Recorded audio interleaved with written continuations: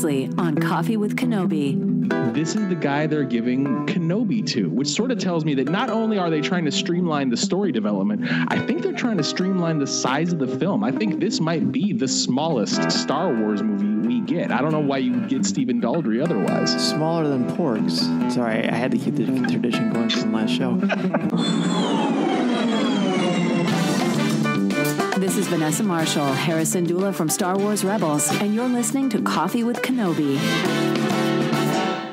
Hello and welcome to show number 83 of Coffee with Kenobi, your spoiler-free place for Star Wars discussion, analysis, and rhetoric. I'm your host, Dan Z, enjoying a piping hot cup of coffee in my CWK mug featuring the original logo from 2013. It's definitely a classic that takes me back to so many great memories when we started this little show of ours. I want to welcome our new CWK family members and hello again to each of you. Thank you for joining me once again for a cup of coffee and Star Wars conversation.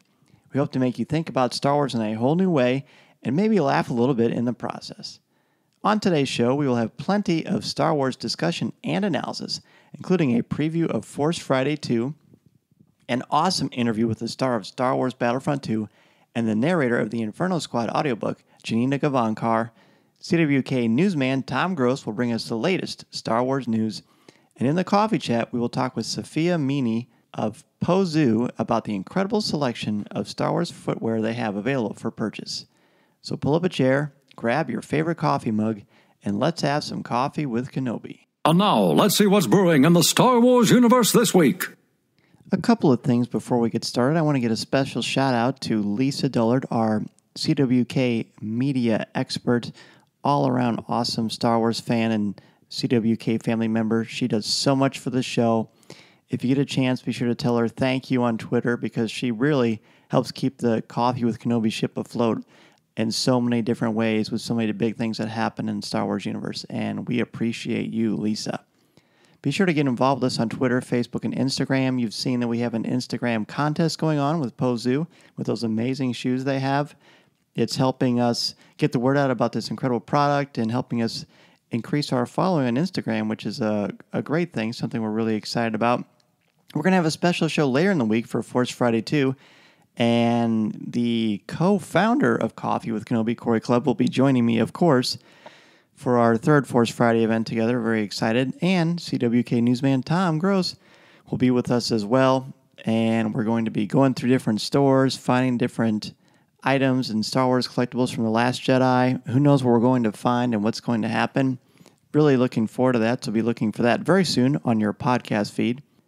Be sure to check out the Star Wars Rebels Season 3 Blu ray. I did a review on www.coffeewithkenobi.com that you can check out in the show notes or on our webpage. But the commentaries on these episodes, there are five of them. Dave Filoni is on a number of them, and he's fantastic, as we know. But listening to him talk about Twin Suns, especially, is worth the price of the Blu ray alone. You get to learn a little bit more about who the Chosen One actually is. And after you listen to this, there's not really a debate, in my opinion, because he says what George believes. And they give rationale, and I think it's amazing. Truly a masterclass. It's how I always envision it would be if you got to sit in the room with Dave Filoni and the story group and listen to them plot out the Star Wars Rebels mythology and what that means for the overall picture of Star Wars. Be sure to let us know what you think about it as well. Joining us today for a cup of coffee is the senior presenter and podcast co host of Channel Star Wars, Brian Karasek. Hello, folks. Glad to be here. And uh, Dan, thanks for having me on. It's, I've been a long time listener, first time participant, and it's going to be a good night. Oh, it's going to be a great night, and I'm so happy to talk with you again. We were just chatting before the show started, and, and Brian and I met uh, in London last year. That amazing experience we got to be a part of the Gillette uh, took care of us and had us go to Pinewood Studios. And Brian and I hit off right away because we obviously love Star Wars and uh, both have families who are sometimes Star Wars widows, and uh, we just just had a great time chatting. So it's really nice to uh, have you on and, and chat. Absolutely. Thanks again for having me. You bet. Our other guest joining us today is a longtime listener, someone I finally got to meet at Celebration Orlando. I've just been a big fan of. Just he's a good guy great Star Wars fan, and he's also the co host of the Bad Motivators podcast, Eric Strothers. Thanks so much for having me on, Dan. And it was excellent to meet you at Celebration. It was. We we chatted after the, the, the Star Wars writers panel that I did, and it was cool, man. It was it was brief, but it was awesome, and I knew I had to have you on the show. And this is an interesting week for Star Wars because obviously a lot's going to happen. We've got Force Friday 2 just around the corner. Did you notice the press release today, guys? Uh, the augmented reality thing that they're doing uh, all over the world. Yes. Yeah. The video I saw was Star Destroyers circling around the London Eye. Yes, I know. Close to close to my heart because, as you mentioned, Dan, when we met in Pinewood, that was one of the places that Gillette took us on a, a little uh, private and catered ride around the London Eye. So about 45 minutes spinning around on a giant Ferris wheel and, and seeing that same location with Star Destroyers in orbit. Ah, gotta love it. It was great. That was also, by the way, the one thing I skipped because I don't like heights. I went and saw the um, the the palace. That was pretty cool too. Oh, that's right. uh, well, I, I'm not a not too bad on the heights, but I, it's unfortunate that you missed that. I, I forgot we had such a, a packed crowd in there. So yeah, also the catering. Gotta gotta give a nice shout out to Gillette for the champagne on uh, you know mile up or however high we were. It was really fun. It was really fun. This thing that they've done looks really really fun too, and they've got a number of places. Uh, it's literally global. The things that they're doing, and how it works for those of uh, us who have not yet caught the press release is you download the Star Wars app. It's, it's this is a great commercial for the Star Wars app. They're going to get so many more downloads for their app. But they you take your phone and open the app the augmented reality option, and you go to different landmarks throughout the world. It even gives you the direct geographic coordinates on the press release, and you will get to see your favorite landmarks, famous global landmarks, with the Star Destroyer over it and Tie Fighters. Uh, in the U.S., there's there are quite a few, but not as many as I expected. You've got Central Park, uh, the Grand Canyon, uh, the Golden Gate Bridge, the Hollywood sign. I think I've hit them all. So, gentlemen, what do you think about this? You, and are either of you close enough that you could catch these? No, unfortunately, I'm not close enough to any of those things. Nor am, Nor am I. I was just up in New York City. I believe you, you, mentioned one of the landmarks up there. I just got back last night. Uh, Daniel and I were up there with Channel Star Wars covering a, a, another product launch that I'm not at liberty to discuss right now, but stay tuned to channelstarwars.com tomorrow morning, 11:01. We'll be able to share that. But at any rate, I won't be able to to get out there. We have a fairly uh, fairly lackluster crowd actually in my local town. I, go to a Toys R Us in uh, in Durham, North Carolina, and last year I was out there for Force Friday, and there were all 15 people there. I was the only one in costume. It was I was a little disappointed, but you know that's what can you do? It, it, it can't be celebration every day. Well, it's got it's true, it's true, but that, that's all right. We've got so many opportunities. This is going to be uh, Niagara Falls. They're going to have it. The Sydney Harbour Bridge in Australia. It's it's really staggering. The Eiffel Tower. I'm not sure how this was coordinated, but it really is uh, quite a coup for marketing as much as anything else in technology. We've come a really long way. And as far as the history of Force Friday, this is the third one. Last year was Rogue Friday and that will always have a special place in my heart because of because of reasons like Target commercials and things like that. Uh, sure. No, no, commercial this year for me, but that's quite a ride because I get to run to these stores all over the local area that I'm in. We're in the Central Illinois area, of course, and there's a number of stores involved in a lot of exclusive offerings. Uh, guys, what do you think about what's going on tomorrow? You know, I have to say, Dan, Eric, the uh, the way that Disney has taken this in hand is is unbelievable, and I, I really want to speak to that for a moment because I remember when Star Wars: A New Hope came out, and if you wanted to know everything about that movie, you watched the movie, and if you wanted to get maybe a little bit of extra background detail, you maybe bought the novel, and maybe subscribed to the magazine, but that was pretty much it. But starting with Force Awakens, Disney, you know, they're not new to this, of course, and they know what they have on their hands, and I think they're treating it like the like the gem that it is.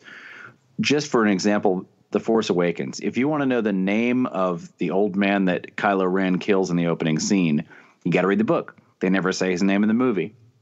If you want to know what the deal is with the Church of the Force, that's in the visual dictionary. If you're interested in Kylo Ren's lightsaber, also in the visual dictionary. And it just they've really taken it to the next level of if you want to know everything about this property you're gonna you, you might need to buy a video game or two subscribe to a comic book and just there's so many source books out there.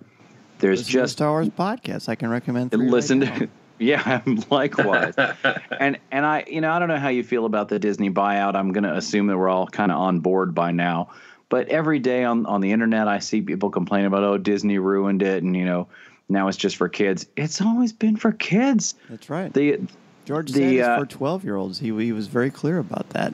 Yes, very nice. And uh, uh, that sort of br- a bit of a different topic, but the, when the Forces of Destiny videos came out, I saw so many scathing reviews of it, like this is stupid and the animation is dumb and the storylines are, are trite. I'm like, you're a grown man. It's not for you. I'm- Exactly. I'm glad that the cartoon made for eight year old girls is not appealing to you. Like I, I would be a little concerned if it were. See, uh, rewind a little bit. You asked about the Disney merger. Uh, you know when uh, Jerry Maguire when he's when she says you had me at hello, that's that's how I was with the Disney thing. They've they've You had me at hello, but- folks. but wonderful when it came to Star Wars. I mean, we've got way more stars than we ever have. The quality is at a consistently high level, and there's so much to look forward to. The the merchandise, uh, the books, like you said, the comics, just everything. It just it's just been wonderful. I'm really excited about this. You, I mean, the Disney stores around the co- the country, especially the big ones like Times Square and Chicago's Michigan Avenue, San Francisco. They're giving away a mini poster. They're having Ways of the Force activities. They're having a Star Wars story time, Art of R2D2, all kinds of theming. Walmart's having a thing where they're Jedi, where you can be Jedi ready, and they're having events in the parking lots. Uh, six foot tall model Luke Skywalker from The Force Awakens, made out of Lego. Toys R Us is having a lot of cool stuff, giving away posters and T-shirts. Uh, it's a Funko Pop T-shirt, which they did last year for Rogue One. Love Uh, that shirt. Basically, everywhere online has stuff. Kohl's is going to have stuff. Meijer. It just the list goes on and on. We'll have a link to that in the show notes. What are the two of you going to do for Force Friday Two? Where well, this gonna go? year, last year I didn't do any midnight openings. The buzz for Rogue One, I think, was pretty high among like a select few of my nerd friends. But past that, I didn't see people, you know, clamoring for the toys. The way you're never going to have another Force Awakens. Force Friday. I just don't. I don't think that's ever going to top that. They're But never going to leave year- 10, 10 years between movies again. Well, exactly. That's exactly it. So you know when people are like, "Oh, the the wave is over," it's like, no, it's not really. You're just you're comparing apples to oranges. But this year, I'm going to hit none of the targets immediately next to my town are going to open at midnight, but uh, one near one of the church campuses. I'm the music director at my church, so, so one of the places I work, that one is opening at 12:01. So I'm going to hit that see how that works out, hit a Walmart that's 24 hours on my way home from there, and then get the kids up for school on Friday morning and hit the Target in town to see see what's left. That's the plan. That's a good plan. I like that plan. And I like what you said about the Force Awakens Force Friday. That was just so special. It was the first one. And yes, it's been it had been 10 years between movies, but even more than that, it had been 32 years since we got a Star Wars film that had Harrison Ford in it and Mark Hamill and Carrie Fisher. And I think that accentuated things to a whole other level. That's true. Oddly enough, I, I don't know if it's oddly enough, but I'm more excited for this than I was for Rogue Friday last year. I, I guess just because the continuation of the Star Wars saga is so exciting. Brian, where are you going to go tomorrow? Well, as I mentioned, there's a Toys R Us in, in my local area that does a midnight showing. No, no other stores do uh, do anything at the midnight. Just this one Toys R Us, and there, as I said, there's about 15 people there. I'm probably not going to do a costume this year. I mean, it's an hour and a half of, of makeup, and I just I don't know if I can muster it up to go to go be the only one in costume. But I'll bring my lightsaber. We have some sparring in the in the uh, parking lot. Honestly, uh, there's not a toy I'm looking for. There's not a character I'm particularly invested in. It's all it's all good. It's all Star Wars. But you know, um, you mentioned that uh, I don't know for Rogue One, it, it was there wasn't quite as much buzz in my mind for it because let's be honest, we knew how Rogue One was going to end. I mean, spoiler alert, guys, they they get the plans. So I, I do think that with the Hey, Last Jedi, and I'm, show, careful. with the last jedi though we don't know where this story is going to go and so yeah it's a it's a lot more engaged and the It's gonna have. I Luke. mean, it's gonna have Luke. yes, Skywalker. Luke gets to say a word. I'm on board. Exactly. That we're going to be going to Toys R Us. I I wanted to go to Target quite honestly because I just had so much fun there two years ago, and no Targets in my area are going to have anything, which I just find so puzzling. And I'm not sure how that is. There are a number of Targets across the country, obviously, and you go to Target.com/slash Star Wars, and they tell you which shows are going to have these. I feel like it would be quite the moneymaker, but maybe they leave it up to the individual stores. I'm not really quite sure how that is all figured out. But and Brian, you mentioned some things that you're looking for, and really just sort of there just for the atmosphere and environment. It sounds like.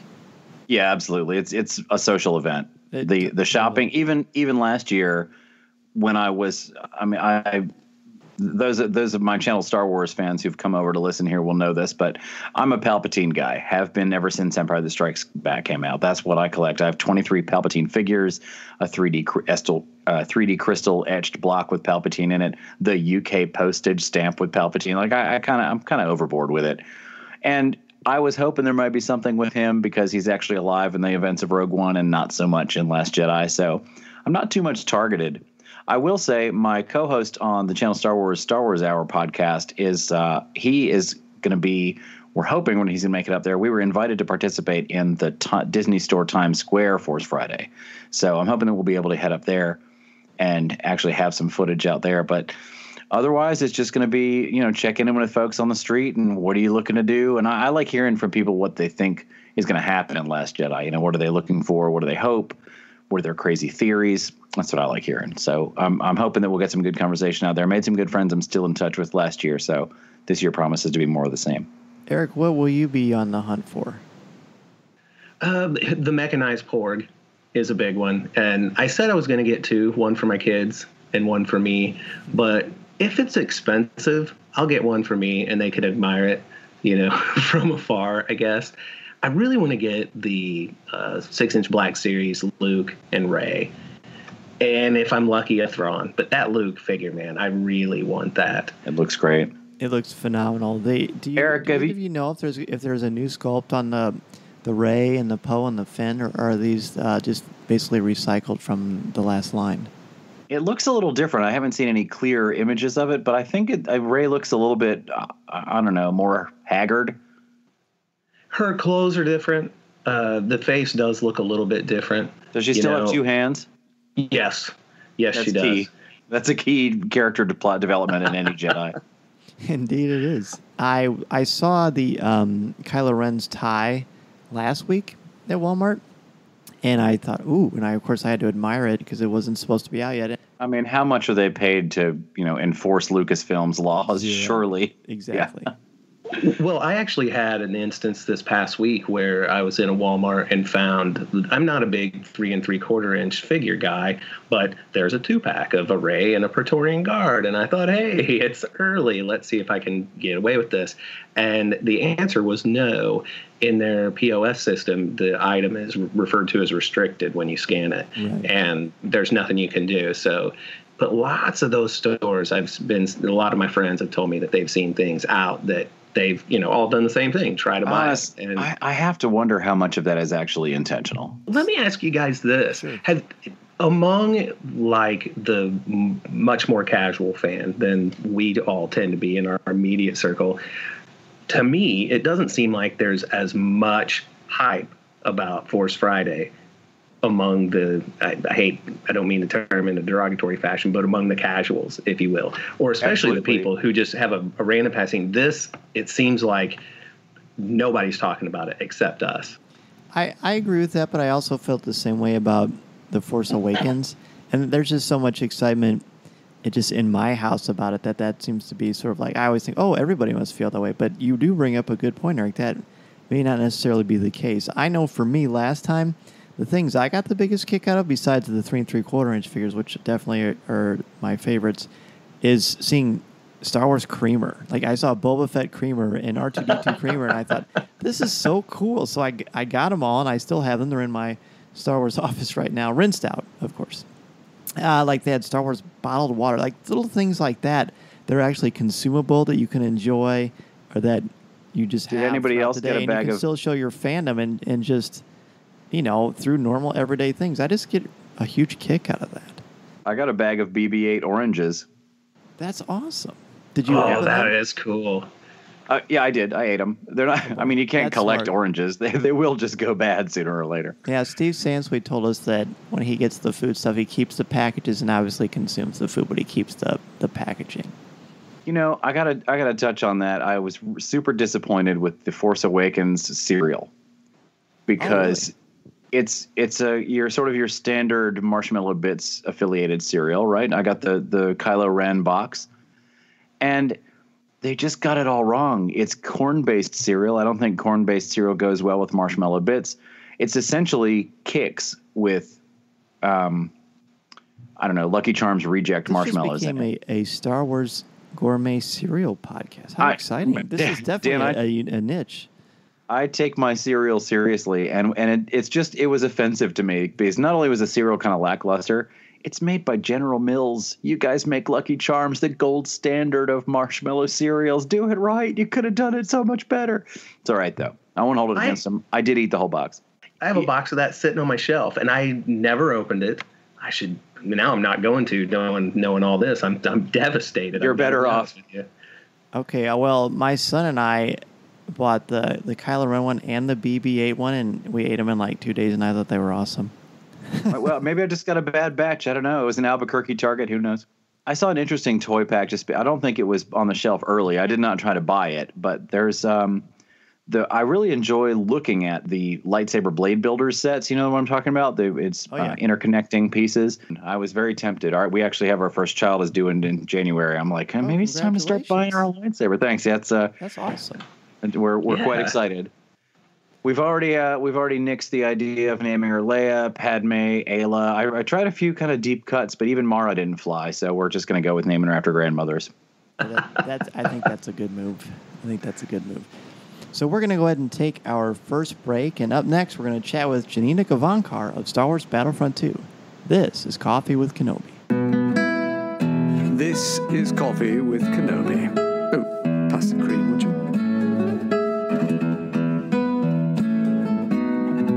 Coffee with Kenobi is sponsored by Penguin Random House Audio. Looking to catch up on the latest Star Wars books? Try listening to them on audio. Featuring sound effects and music directly from the movies, Star Wars audiobooks are the definitive listening experience. From brand new audiobooks such as Thrawn and Empire's End Aftermath to our blockbuster movie tie-in editions, you'll plan to keep you entertained. Visit penguinrandomhouseaudio.com slash Star Wars for sample clips and to start listening now. Coffee with Kenobi is also sponsored by the Star Wars Digital Card Trader Collecting app from Topps. If you love Star Wars and love the excitement of chasing your favorite Star Wars collectibles, the Star Wars Digital Card Trader Collecting app from Topps is for you. Download the free app from iTunes or Google Play and collect your favorite images from the classic 1977 Star Wars cards to the Clone Wars, Star Wars Rebels, The Force Awakens, Rogue One, and much more. Collect and trade with friends new and old through the Star Wars Digital Card Trader Collecting app from Topps. These are the cards you're looking for. If you're considering a way that you want to help out Coffee with Kenobi, an excellent way to do so is to be a member of our CWK Patreon page. We have so many people who help contribute to the show each and every month, and I'm talking about CWK family members like Tyler Wiggins, Jason Hall, Dennis Keithley, Aaron Harris, Angela Souse, Mediocre Jedi, Chris Hadding, Terry Lee, Jim Capron, Connie Shee, Mike Audette, Adam Leonard, Swara Sala, Jared Cantor, BJ Smith, Eric Strothers, Nick Deco, and Mark Suter. It's an amazing way to help us out with our show expenses, including the RSS feed. You can help us host our webpage, the microphone upkeep, cables, the travel, and everything that goes into that. And then we have a number of incentives, including some brand new incentives that I'm really excited to talk about. With a $5 contribution, you get recognition at the start of each show, like you just heard, and you get a follow from us on Twitter. $10 and up, we have access to our Google Hangout, which is a monthly opportunity. At 35 or more is a coffee mug, all the way up to t-shirts, etc., depending on how much you want to contribute. And if you get contributed $50 or more, you could host one show with me, two shows with me in a month, or an entire month of shows. That's four shows, depending on how much you were able to contribute for that particular time. Now, the news, the big news is we are now a member of Discord. Discord is an app. It's also something you can use on your computer. It's something that gamers use, but it's now something that others can use as well. And Coffee with Kenobi has a Discord account, and it's really, really cool. Basically, it's almost like message boards just for CWK family members. So you can get on there and discuss anything that comes to mind. Right now, we have a Discord one for general. We're just talking Star Wars in the podcast. We have one for Star Wars Rebels because the DVD for season three is coming out soon, and season four should be announced really, really soon as far as when that starts. And then we've got one for Star Wars Collecting, which seems really appropriate for Force Friday. Now, if you, and that is something you get for $5 or more a month. So if you contribute five bucks to Coffee with Kenobi monthly, you immediately get access to our Discord page. And I've just really been getting into it. At first, there was a learning curve for me, and now I've got it, I think, down. I've added the app to my phone so it's easier to communicate that way. And I've had an absolute blast with it. I can't wait to see everyone else get more involved in the conversation and to involve even more people to the conversation as well. Now, if you contribute $35 or more a month, not only do you have access, but you also are able to create your own Discord conversation threads where you can start a conversation of your own and we can all join in with you. So, $5 more a month, you automatically get to be a member of the Discord Coffee with Kenobi page, and that goes all the way up. And then if you contribute 35 or more, not only are you a member, but you can create your own channels for us to have a conversation with. So if you are interested in that, please check out the link in our show notes or on our webpage at the top left for more information. Janina Gavankar plays the role of Iden Versio in the upcoming Star Wars Battlefront 2. Janina, thank you for having a cup of coffee with us today. Well, thank you. This is a very taste, tasteful cup of coffee. Well, I'm glad that it is to your liking, the right amount of cream and sugar, of course. Oh, yes. Yes. Wonderful. Well, I'm excited to have you on the show. And fans, I believe, saw your passion and enthusiasm for Star Wars at E3, as well as on the Star Wars show, and it was really awesome. So tell us, if you would, about your history with Star Wars and what does it mean to become a significant part of this franchise? um, I uh, I watched Star Wars for the first time pretty late. I watched it in uh, my freshman year of high school. I had a pretty strict upbringing, so I wasn't allowed to watch a ton of television. I certainly wasn't allowed to play video games, and um, I had a lot of pop culture holes, and I still do, strangely. But I mean, Star Wars is not one of them. You know, like when I watched it when I was a freshman, it was like, oh, I understand now. and I and I um I'm I'm so thankful to my best friend at the time who who sat me down and was like almost dumped me as a friend until I had watched um, all three. It was pretty important. I love that. Yeah.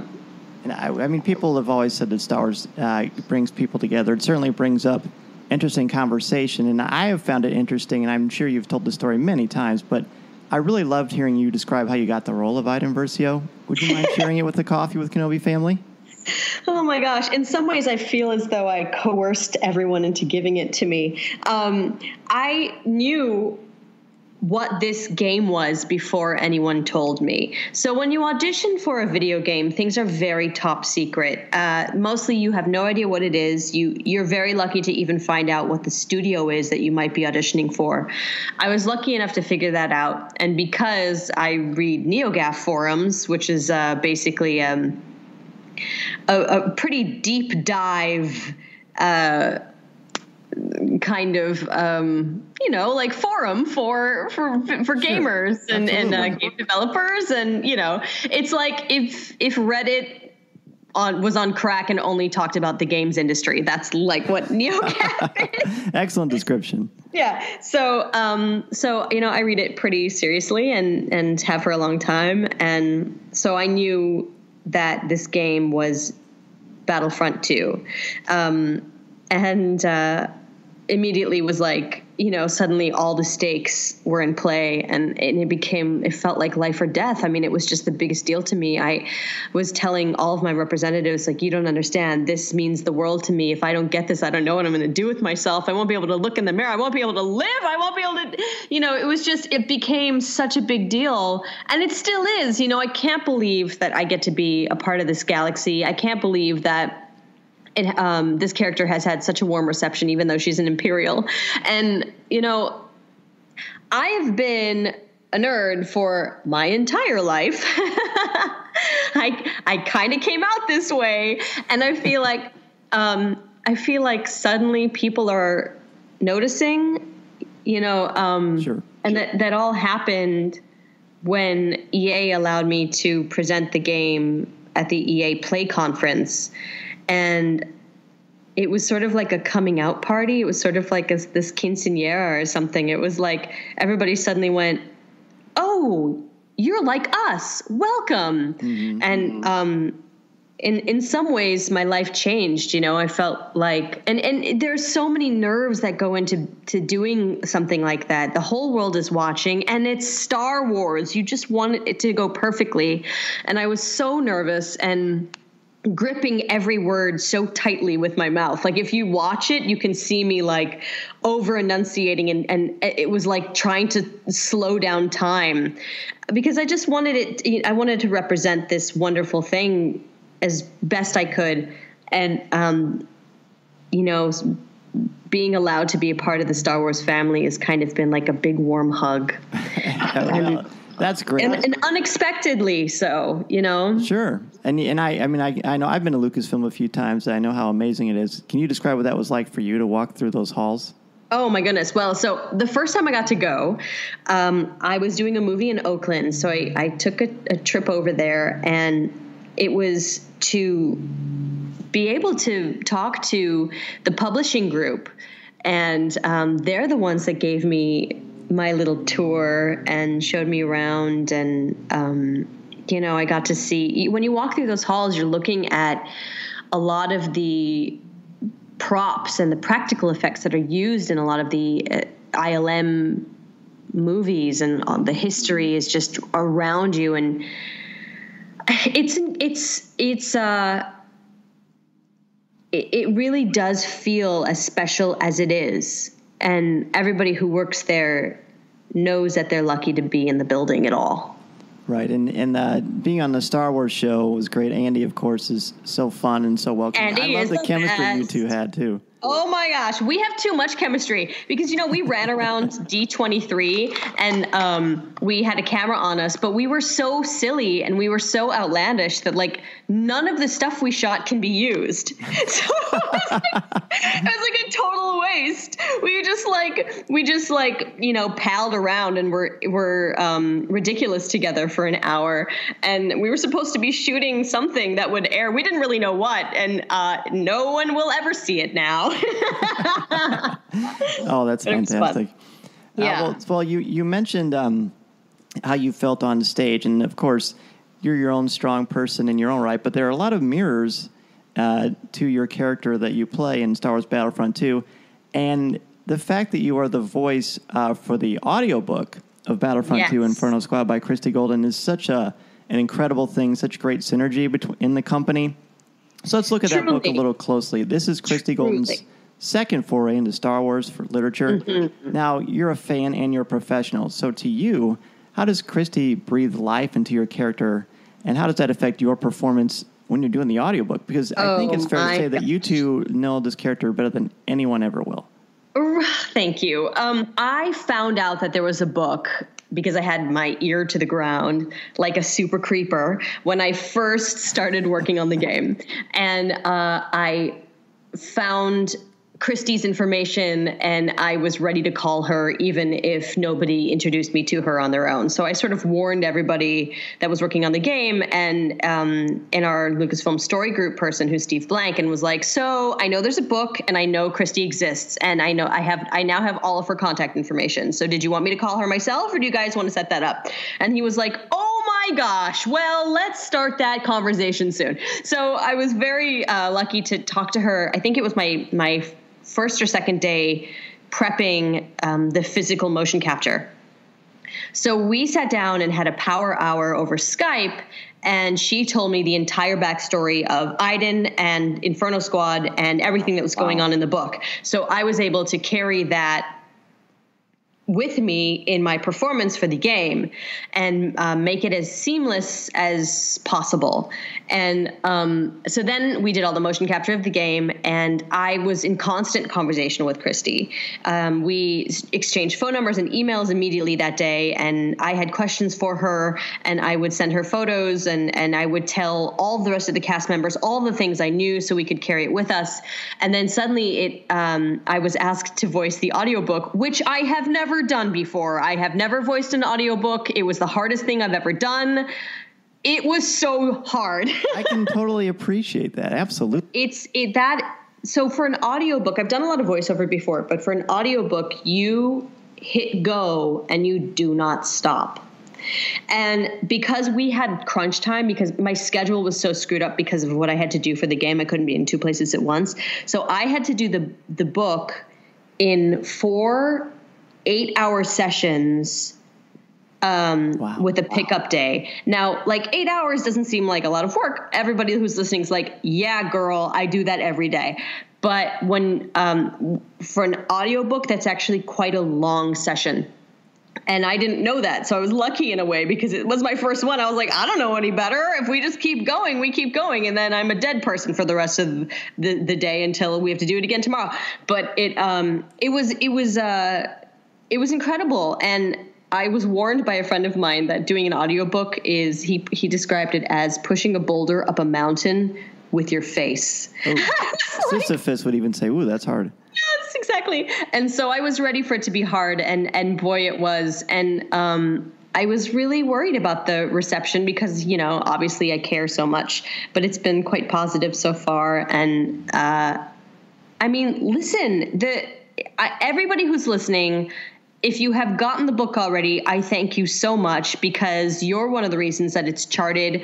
It's an it's on the it's number thir- currently number 13 on the New York Times bestseller list. The audiobook is charting at number 4 on iTunes and Audible. It's like it's Amazing. It's amazing. I, I'm so happy that people are getting it and listening to it, especially if they're a gamer and they're planning on getting the the game. Like you better be listening to this book because it tells you so much about who these characters are. Whoo, and it's emotional. And you know, we don't get to see the imperial perspective often. Um, from this at this level, right? So we see, we know who these people are. We've now seen underneath these buckets, um, but There- these well, are there's, there's tense. There's some incredibly tense emotional scenes where she sort of has these internal conflicts and the way she resolves them and how she rationalizes them. oh Especially yeah, the last 50 Yeah, pages. I and mean, that- that would take hours alone because there's so much emotion you have to pour into this. Oh yeah, and that's not hard, by the way. You know, these things I've been living with these ideas since I was cast in October, and um, I think Christie and I started discussing in February, maybe January. So um, I've known a lot of the really emotional beats for a long time, and um, by the time I was actually reading it, and you can hear it in my voice, I had to stop a few times. Oh, yeah. You know, I had to stop a few times because I just would get so choked up that I had to stop to make my voice work. um, The You know- performance is fantastic, by the way. I mean, it's Oh. tremendous. It really adds so much. thanks. I mean, I it was it was in some ways it's really easy to conjure. I'm not even conjuring it. It's just you know I'm walking around. I'm still working on this game. I'll probably be doing um, in-game voiceover work until it ships, and I'm walking around with these with this life on my skin every day. I think about it every day, and I am so lucky to be able to engage with the Star Wars community every day, and it means so much that it's not it's not hard to put myself in her shoes and in those boots. Mm-hmm. Well, it comes through. I Thank you, but it's very easy when like when you know Christie wrote one hell of a book and she's been so kind and being so so available. There's not one question she hasn't answered immediately for me and in detail.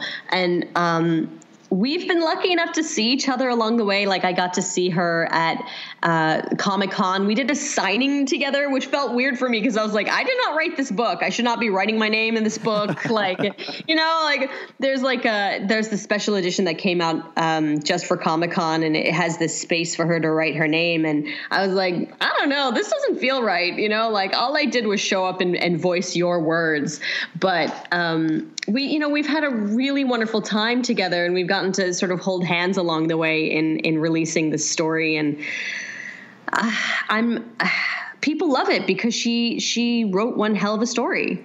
Well, she's I think Iden's really unique to Star Wars because she's she's an anti-hero which brings up its own unique set of challenges. I disagree. Good. I'm glad. See, the English teacher me is very happy right now. Discussions is the heart of everything. Yeah, you know, it's it's not um, nobody's an anti-hero to themselves you True. know True. so and this is she was she grew up in in um she grew up being ready to be an imperial officer and uh you know but she's also made up of two very different parents and that's what i love the most about her Yes. her father her father is an admiral he's a big big deal obviously um he's very fancy but her mother is also fancy but as an artist and you know, if you read this book and you listen to this book, you'll hear that there are two sides to this person. She is both a very focused, military minded individual who loves her uniform and loves her cockpit. And also, she has a really big heart that is conflicted and analytical, you know, and is like constantly thinking about the things around her, um, even though she doesn't question what she has to do to make the world and galaxy better. Right. She she has these these wonderful moments uh, throughout the novel where she has to weigh her duty and and then the the climax of this book and and how she plays it and it's just it's just an incredibly wonderful. I mean, Christie Golden totally Hats off to Chris. she understands character uh, so well in the and I love how the book ends. I could go on and on, but I know your coffee is running low and without Oh giving any gosh. without giving any way cuz we're a spoiler-free podcast. How does the novel enhance the upcoming Battlefront 2? Oh, it, it enhances it tenfold. Um, you know, you're you're picking up. You if you haven't seen the trailer to the game, I urge you to watch it. Um, you're picking up on Endor right when the second Death Star explodes. That is not a spoiler. That is in all of the trailers. Right. Um, this is a very well-oiled machine of a squad. They're at the top of their game, and it's almost like nobody knows they exist because they come in and they clean things up and they get out of there before anyone notices. And um, they haven't been a squad for 20 years. They're relatively young, and you'll want to know what it's like at the dawn of their creation. This book does all of that. Also, if you look at the cover of the book there's four inferno squad members and if you look at the if you look at anything that is coming out about the game there are three inferno squad members you're going to want to know who that fourth squad oh, member was wow. and what that person's what that person did to them to make them who they are. You know, these kinds of things are important and it's not like some random thing that happened. Like this is embedded in who they are as people as you go through this game. I read all the books and the video games I love and appreciate. I've already pre-ordered Battlefront 2 strictly because of Christie's novel. Just because I want to see what happens to the to the rest of Inferno Squad, and Yeah. you did you gave a nice little tease there. That was excellent. Oh, it- yeah, that that really does cement them. It adds pathos. It adds real gravitas to these characters, and again, we really appreciate you coming on Coffee with Kenobi and having a cup with us. Of course. Thank you for serving this coffee to me so warm and tasty. Absolutely, and, and if you'd love to, I would love to have you back on after the game comes out and we know a little bit more about the character. The wonderful. Sure. So, where can people reach out if they want to ask you a question or just say hello? Oh, please do. Please do reach out. Um, I'd love to hear your thoughts on the book. Um, and if you do have questions, just tweet them at me at Janina, at J A N I N A, and also on Instagram at Janina. And it's my full name on Facebook, um, J A N I N A G A V A N K A R. That one's hard to find because I have so many letters in my name. But I'm also sort of like, if you really care, you'll Google.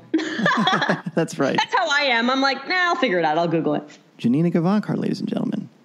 After the break, Tom has news. This is Coffee with Kenobi. This is Vanessa Marshall, and you're listening to Coffee with Kenobi.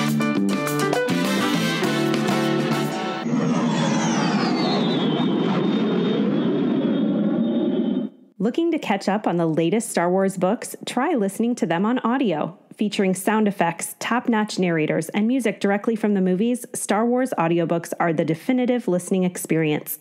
From Han Solo to C3PO to Admiral Ackbar, you'll recognize all of your favorite characters. Listen to movie tie ins like Rogue One and The Force Awakens, to book titles such as Thrawn and Empire's End Aftermath, to classic audiobooks like William Shakespeare's Star Wars. With Star Wars audiobooks, you'll have plenty of Star Wars listening to keep you entertained. Visit penguinrandomhouseaudio.com forward slash Star Wars for sample clips and to start listening now.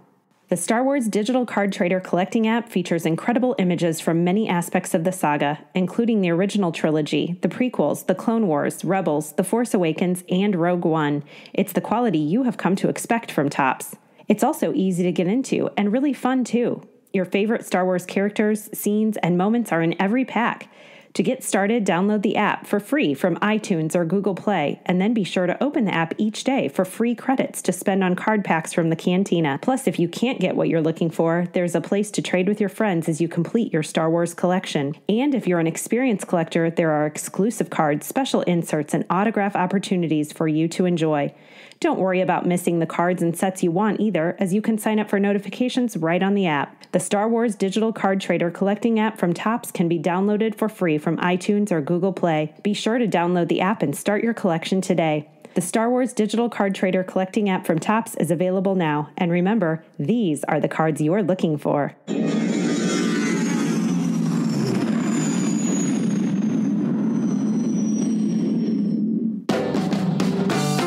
Back, and of course, Tom Gross joins us for news. Tom, what's going on in the world of Star Wars? Well, with the release of Rebels Season 3 on DVD and Blu ray, uh, by the way, Ray on my script here spelled R E Y, uh, and the new Season 4 on the horizon, Dan Brooks of StarWars.com sat down with executive producer Dave Filoni to talk about the Season 3 biggest moments. When asked about the seeming step away from the story of the Jedi and the focus on the rebellion, Filoni's response was Thrawn was the bad guy. They wanted to bring in an element of the rebels by introducing Mon Mothma and Saw Gerrera. And besides, besides Ezra's search for power outside of himself rather than looking inward, Filoni says you can't go much into the Force and mysticism without undermining it too much. You have to be very careful, said Filoni. He previews, though, that season four will delve deeper because, quote, I think you're ready for it. Ezra commits to what he feels he needs to do. Brooks moves on to ask about writing the finale between Hera and Thrawn, and Filoni says that it was an intentional matchup because Hera has never really had an adversary in the military sense. She was like the matriarch saying, Don't mess with my family. And here is this cold, calculating mind to oppose that. The final matchup shows her skills as commander and leader, but the rebels barely get away, so Thrawn still comes away as the strategic genius.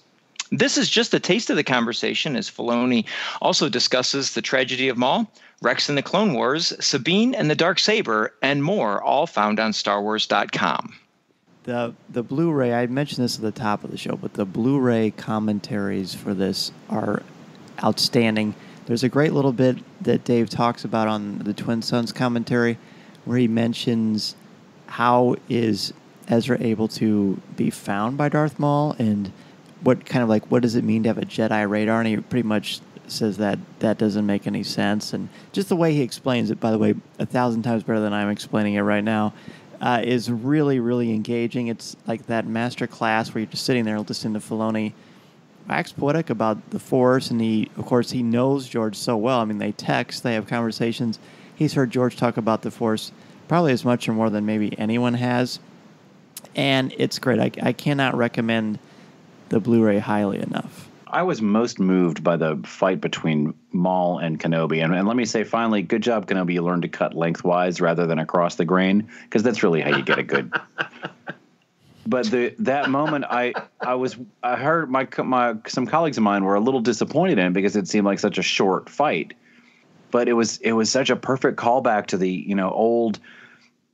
Um, samurai films you know yeah it was it was straight out of kurosawa you know two ancient samurai face each other and, And you know the battles won before a the lot. You you got to hear it. If you haven't heard it yet, Brian, you've got to. I haven't. It. It's, oh, you have.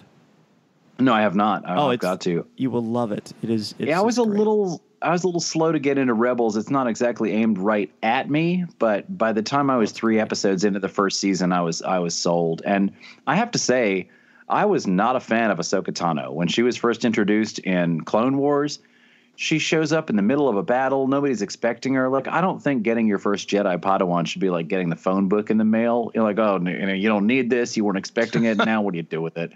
But I also thought she was a little fan servicey at first. You know, she's an underage girl in a bare midriff top, and her name is a Japanese phrase, and she's got gigantic eyes. Like, I feel like we're kind of a little on the nose with this, guys. But again, by second second season of Clone Wars, I'm on board, and she's my some of my favorite moments in Rebels have been dealing with Ahsoka. And then the novel came out. Big fan, big fan. You know, I, I have to say, I've never been so compelled to need to buy a Blu-ray machine and a Blu-ray before in my life. But Dan, you are making a hard sell on this because I do not believe that commentary is on the DVD. Do you guys know It's for not- sure? It's only on the Blu-ray. That's what I thought. There's- That's how they get you. there's- I'm feeling the same way. And they, I, I don't. In the uh, there's a, there's a couple of behind the scenes documentaries. Most of them are like six minutes fifty eight seconds. I know that because I was writing them down when I was doing the review. But the Obi Wan Darth Maul one's uh, just under eight minutes, and it's fantastic too. Just and seeing the designs of these characters and what went into them, it's it's really great. What else we got going on? Well, new episodes of Lucasfilm's popular Forces of Destiny animated microseries will be coming out this fall. An article from the newest issue of Star Wars Insider magazine takes a look at the design and creation of Forces of Destiny. Lucasfilm Story Group member Carrie Beck uh, reports that Han Solo and Finn will be making appearances. Jedi News reports that Beck does not say who will be providing the voice of Han Solo, but there could be a host of opportunities for that role. I'm I'm all over this. I think this is great. Not auditioning. I, I cannot do a voice of that magnitude, but that is going to be fun. And did, they don't have a release date set just yet, but this is the first Star Wars thing that you can see on television or or whatever a video that my four year old son watched, and I have such wonderful memories of just watching the the first few episodes of that with him. And knowing we're going to have more of them, and we're going to have uh, some of the more iconic characters on there too to add to the iconic characters we've already had in this series. I I think this is just tremendous. Eric, are you a big One of fan my- of Forces of Destiny? I love the show, and my kids both really liked all of the episodes. I can't think of a moment that they weren't into. And my little girl is really into the toys. So, yeah, I'm really excited to see the next few episodes come. One of my favorite Leia moments comes in Forces of Destiny, the one where she's working with Wicket. Yeah. When she gets yeah. she gets the dress at the end, and she says, "Thanks for the dress. Does it come with a spear?" It's just such a Leia moment. Like, yeah, it's pretty, but I'm gonna need a weapon. I, I love the Hoth one with where Chewie is essentially kidnapped and um, is and the Wampa thinks that Chewie's a teddy bear. I thought that was really awesome too. Don't we all think Chewie's a teddy bear deep in our hearts? my girls are super excited. When I told my oldest daughter, she's ten, that um, that Han Solo and Finn were going to be in the show, she was so excited. And you know, th- there's such in- instant gratification among among children these days that she really thought that we were just going to watch that tonight, because I showed I showed all of them together to her. Well, I guess they weren't all together, but several of them at a time, uh, because we just they they kind of rolled out quickly there and. Um, but yeah, they have they have the the action figurines and they they love the show. Just it's such a great addition to the Star Wars story. and I've been really happy. Uh, You guys, I don't know how, how many other parents there are in the conversation, but uh, Dan, how do you feel about how many strong female characters they've brought to the saga? Just just since Disney took over, I mean, three of the five organic members of the Ghost Crew are all women. That's true. I, th- I think it's great, and and I one of the reasons I know that we're getting somewhere is that I don't even realize that the main characters are male or female. I just know that they're cool characters that I like, and I love that my son is growing up, and all of these female characters are spotlighted and showcased. So for him, it is the norm, and I think that is brilliant, and I think it's refreshing, and especially when I go over mythology with my students the amount of sexism in mythology, ancient Greek mythology especially, is just unbelievable. So it's really nice to get the, the pendulum swinging the other way.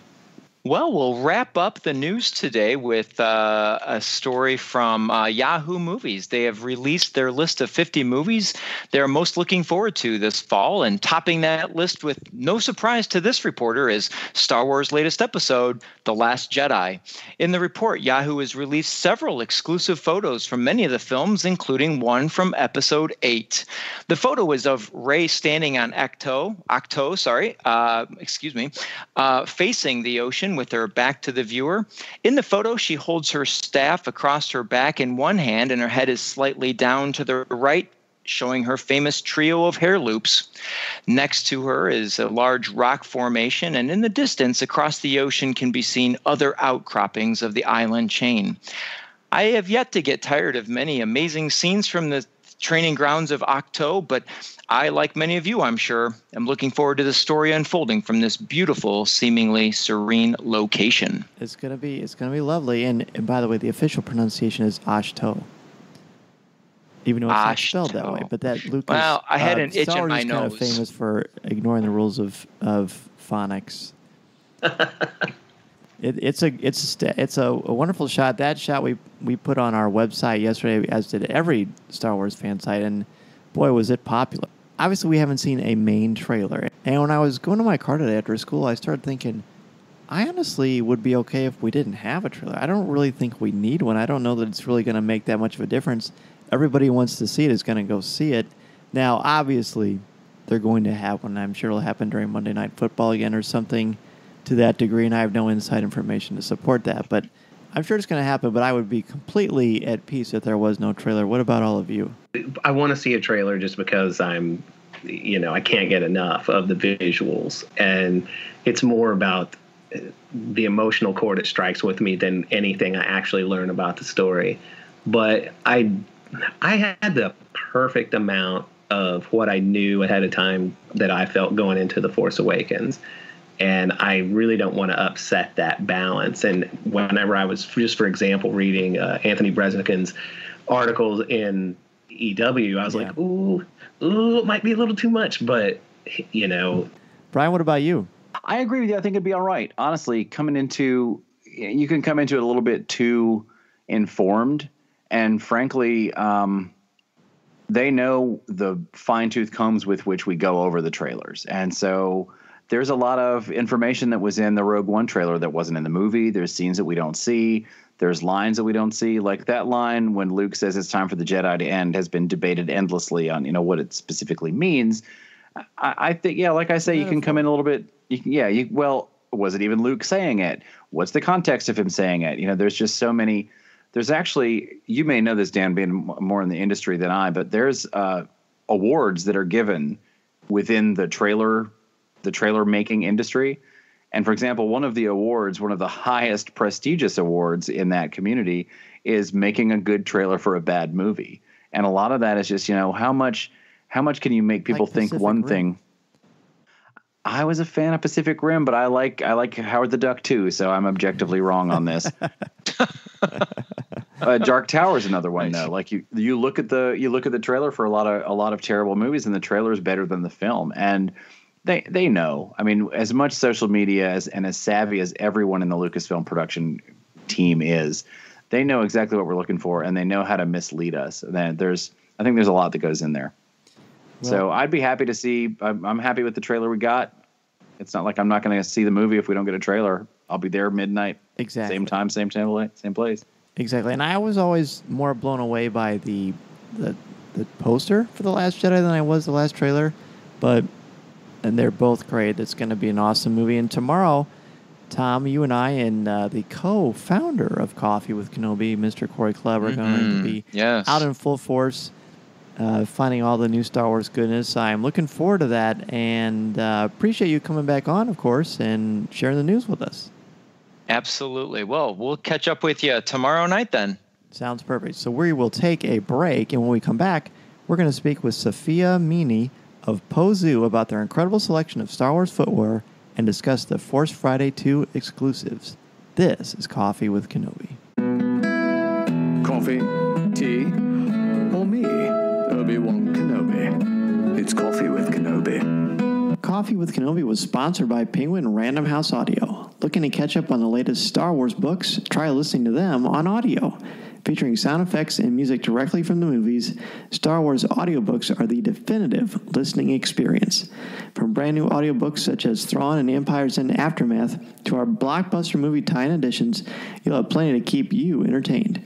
Visit penguinrandomhouseaudio.com slash Star Wars for sample clips and to start listening now. Coffee with Kenobi is also sponsored by the Star Wars Digital Card Trader Collecting app from Topps. If you love Star Wars and love the excitement of chasing your favorite Star Wars collectibles, the Star Wars Digital Card Trader Collecting app from Topps is for you. Download the free app from iTunes or Google Play. From the classic 1977 Star Wars cards to the Clone Wars, Star Wars Rebels, The Force Awakens, Rogue One, and much more. Collect and trade with friends new and old through the Star Wars Digital Card Trader Collecting app from Topps. These are the cards you're looking for.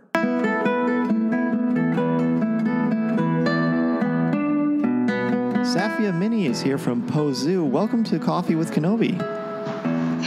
Hi, thank you so much, Dan. Oh, absolutely. It's great to have you here to have a cup of coffee with us. And you are part of an amazing line of Star Wars collectibles. These uh, Star Wars shoes and uh, footwear are just exquisite. Tell us a little bit about how you came into the Star Wars brand. Yeah, so it's um, it's uh, it's very interesting as a, a journey for um, for the brand and, and for the founder Sven Segal. Um, so I think you know both um, Sven and I, um, I am the um, founder of, of People Tree, an ethical fashion company. I think both of us were really really passionate about creating something that was um, very very authentic um, that was built, you know, we're using uh, organic and sustainable materials and produced in, in the way that really respects the worker, but something of, of very, very high aesthetic integrity. And when um, uh, Lucasfilms came to us and said, you know, um, well, orig- uh, uh, at first, of course, we didn't know that it was for Star Wars, um, but um, asked Sven to design um, shoes. Um, you know, we were really, really excited, and um, and I think um, you know what we've what we've developed now with the Po-Zu Star Wars collaboration is the most fantastic um, lineup of of sneakers of high tops in organic cotton and. Uh, right the way through to chrome-free leather boots for men, women, and children. So it's been a it's been a really really interesting and, and transformative um, journey for a, a, small ethical company based in London. It's been fun. Oh well, I can't even uh, imagine the. Um, what you felt when you realized Lucasfilm was reaching out to us, we're going to be making something Star Wars related. Yeah, I think this is um, it's it's really exciting, um, and you know the, the first time actually that um, you know um, the actual um, you know uh, footwear in in Star Wars. You know we have um, replicas that are that are so so authentic, but also you know produced to such a high standard in terms of um, design and ethics, and, and I think that's that's why a lot of people have kind of recognised it, and you know really also appreciate the the the, um, the comfort of the footwear um, alongside um, the aesthetic. Absolutely, and and I know for me as a consumer, uh, obviously I wear shoes. Everyone wears shoes, and the things I look for will be comfort uh, and price, and, and obviously the aesthetic quality, and and Po-Zu hits all of those things um, beautifully, obviously. Take us back to the beginning and how you came up with some of the designs for the footwear. Sure. Um, well, that would be um, Sven, really, as, as, creative director and senior um, designer of the brand. Um, so I think, firstly, what he was looking looking at is, you know, for example, with um, the new um, Rey boot, it's it's made with you know fantastic woolen tweeds and cork. Um, you know, it's a really really high integrity product, um, and you know looks fantastic. Um, he's then built um, alongside uh, that product the footwear that's worn by Finn and Poe, uh, which you know again have you know such authenticity, but they're also as well as being you know fantastic for cosplayers, they're also very very adaptable for you know fashion and for streetwear.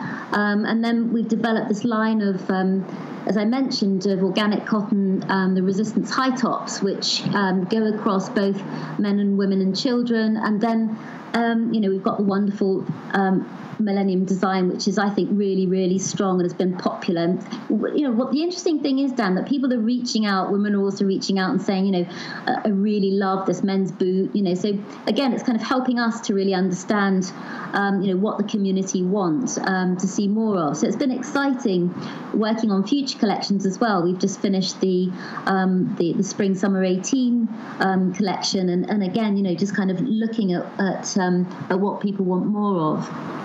Right, and and you have you have footwear for women, uh, men, and for children.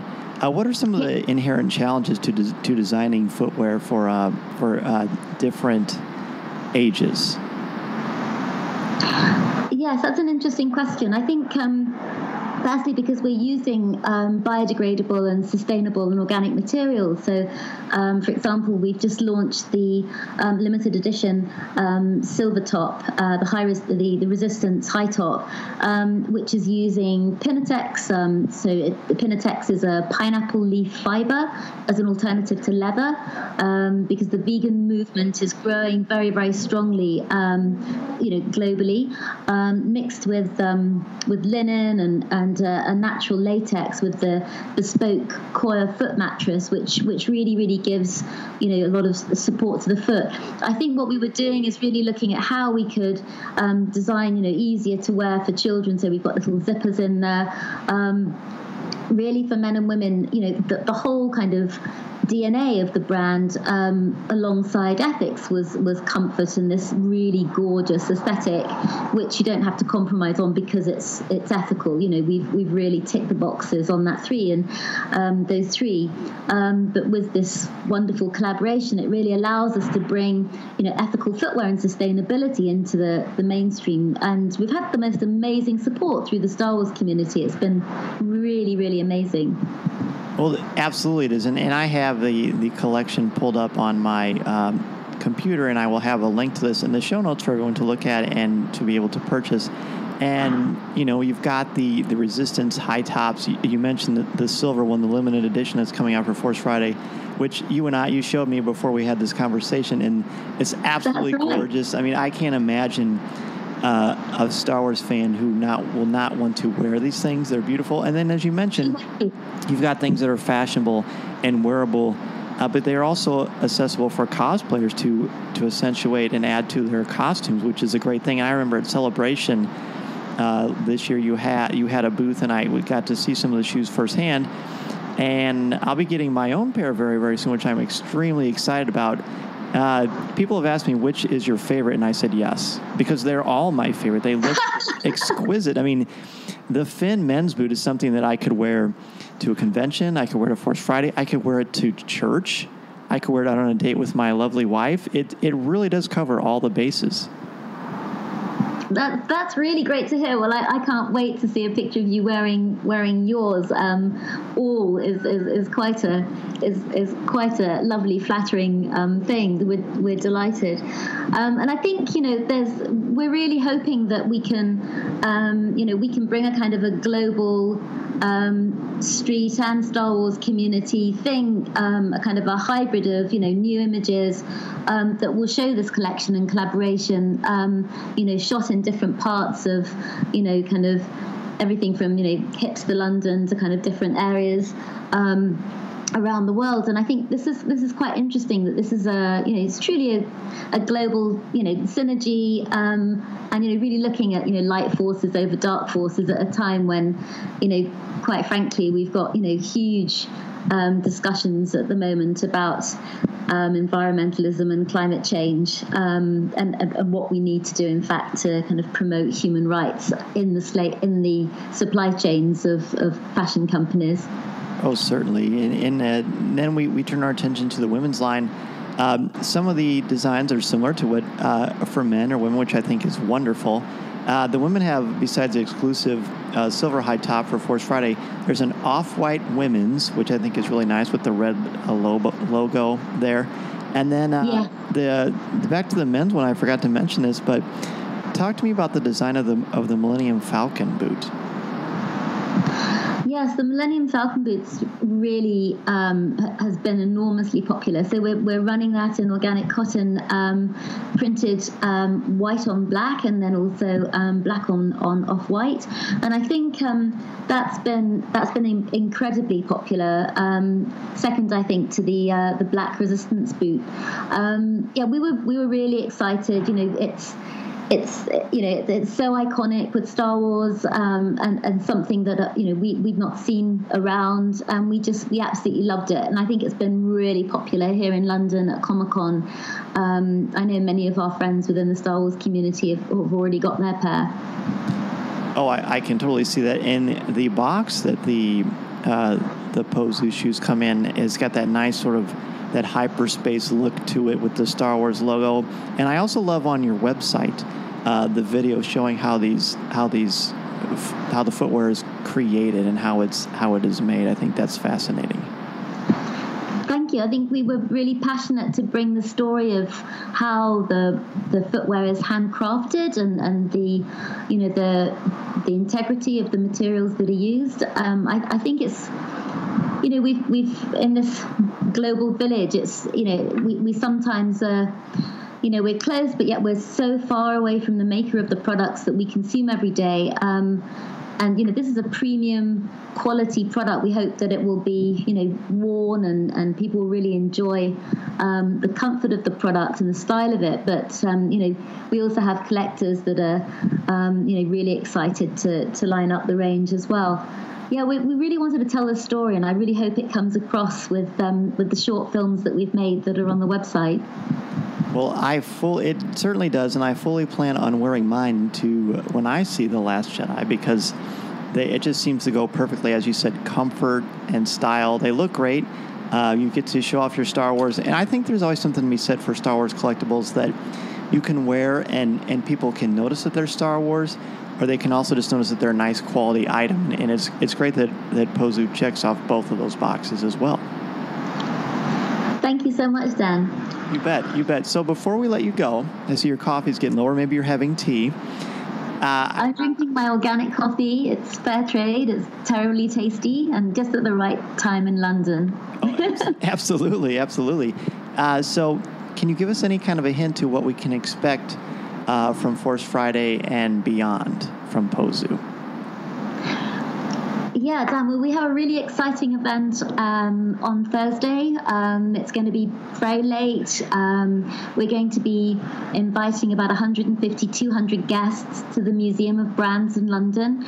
Um, we'll have uh, a, lot of um, journalists there, influencers, bloggers. Um, there'll be a, a number of, of cosplayers.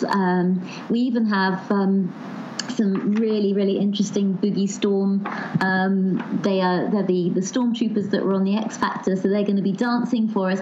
We're going to have this fantastic event as a backdrop to um, revealing um, some new products, which I'm afraid you're going to have to wait um, until uh, one minute past twelve on Friday morning um, to hear a lot more. But um, yeah, there's a really really interesting boot called the Rey High, which we we know that uh, fans out there um, are really waiting to hear more about. Wow. Well, it will most definitely be worth the wait. Uh, Safia, Minney, thank you so much for coming on Coffee with Kenobi and, and CWK family members. If you're listening to this right now, uh, please be sure to go to their website through the show notes and see the wonderful collection of boots and shoes that Po-Zu has for Star Wars. It really is a wonderful thing to wear to show your and celebrate your Star Wars fandom. Uh, take your significant other out in the town, or just have a comfortable time walking around amongst your normal day. Thank you so much, Dan. My pleasure. listening to Coffee with Kenobi. You are the podcast you're looking for. This is.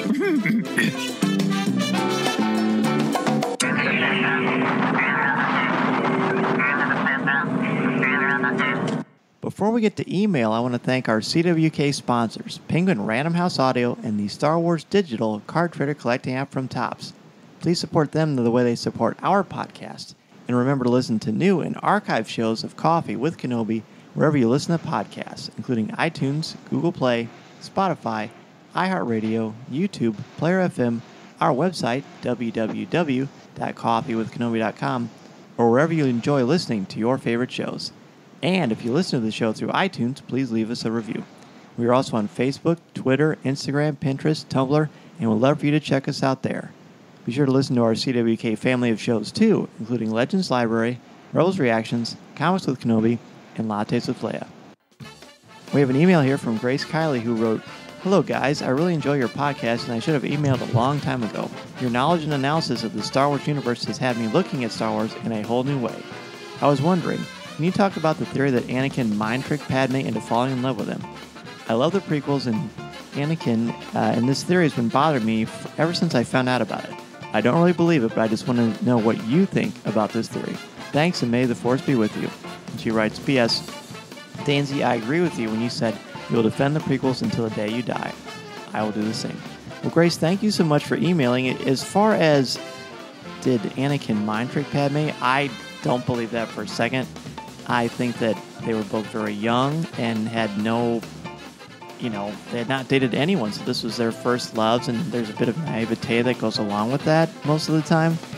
And I, I just don't think that he did that. I don't. I mean, he, could he have done that? I don't know, but I just I don't buy that. I just think that they just made some bad choices, and they're just classic doomed lovers. What about you guys? whatever he does uh, to the to the fullest extent. And I think that that's always been one of the purest parts of Anakin Skywalker is his love, his love for his mother, his love for Padme, and later on his you know even if briefly his love for his son. And it's that love that cost him pretty much everything in his life. It was his love for Padme that led him to, uh, that allowed him to be led into the Sith, and then his love for his son that led him back. So he fell from the Jedi for love. He fell from the Sith for love.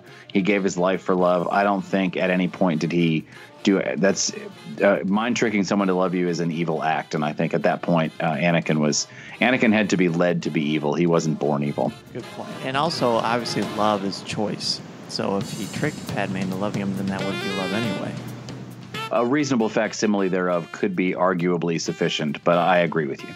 Good point. I think you guys both hit it right on the head. That if Anakin were to have done something like that, it was without intent. You know, if he, he somehow did use his, I think that, that Hayden Christensen. I mean, come on, he's just a handsome dude. So I'm sure that it was just Boy, all man, natural. handsome. That's right. That is a yes, yes, sir. You. That is exactly right. Even with a rat tail. That's right. Hey, he can pull it off.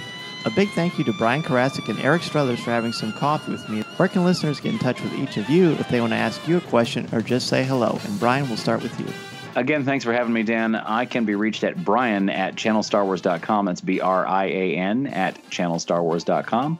I'm our senior presenter and one of our podcast co hosts, and I'm always glad to hear from fans. And I hope that some of you guys will give us a listen on the Star Wars Hour podcast over on Channel Star Wars. And Eric, what about you? I'm most active on Twitter. You f- check me out at Eric Strothers. It's E R I C S T R O T H E R S. Or check out my podcast, The Bad Motivators. It's available on iTunes and Google Play and anywhere else you might find a podcast. Absolutely. Both both are excellent shows. Uh, big fans of both of your work as well as both of you. Thank you so much for coming back on, and thank you to each and every one of you for listening to and supporting Coffee with Kenobi and for contributing to Star Wars Conversation. We will be back next week with two new co-hosts and more Star Wars talk. This is the podcast you're looking for. This podcast is not endorsed by the Walt Disney Company or Lucasfilm Limited. It is intended for entertainment and informational purposes only. The official Star Wars website can be found at www.starwars.com. Star Wars, all names, sounds, and any other Star Wars related items are registered trademarks and or copyrights of Disney and their respective trademark and copyright holders. All original content of this podcast is the intellectual property of Coffee with Kenobi unless otherwise indicated. This is the podcast you're looking for. This No one here. Move along. Move along.